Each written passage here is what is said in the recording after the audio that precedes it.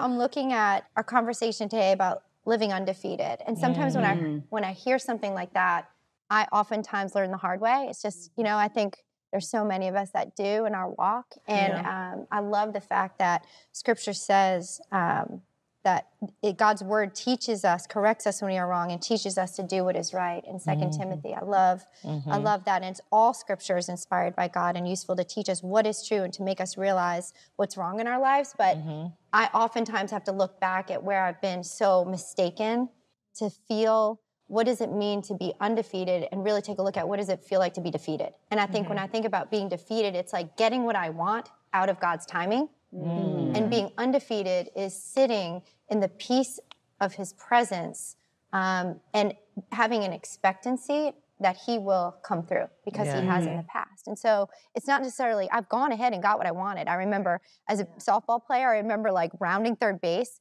and I'm always trying to prove my worth on a team. like, I can do mm-hmm. this. And I remember Yeah. seeing my base coach like this. Like stop! Don't uh-huh. steal home, and I steal home because I want to prove to the world, which was Yeah. my mm. team at the time, and we do this in life. I'm like, I want to prove that I'm valuable. I want to prove that I'm worthy. So I blow by my base coach. These were not praise hands. These were stop hands. Stop. It's not. And I went to go steal home, and I was tagged out, defeated. And the defeat was mm. because I went ahead of someone who cared for mm-hmm. me and was mm-hmm. holding me up at third. And so many times in my life, I can look back and see where did I blow by God and just Wow. go ahead on my own pace. Yeah. That is Right? so, like good. defeat to me is like going ahead on my pace, Right. not sitting in his word Mm. and walking with him in the word on his pace for me. And so I do that a lot. And so I've learned to be like, where God am I seeing you're Yeah. holding me up? Not that you don't want that victory from Right, He wants right, He right. the Absolutely. victory Right. for us. And even when I have fallen, he will gently pick me up and carry me home. But it's not that he doesn't want us to get there. I really feel like for me, he's like, I want that for you. Right. But on my time. Yeah. Well, I love what you even said last mm-hmm. night. You said holding your hands up, but it, the one with the authority at the that moment. Authority who can see what I cannot. Who knows? So my back is to the I field, know, I love right? I can't see the girl about gutting me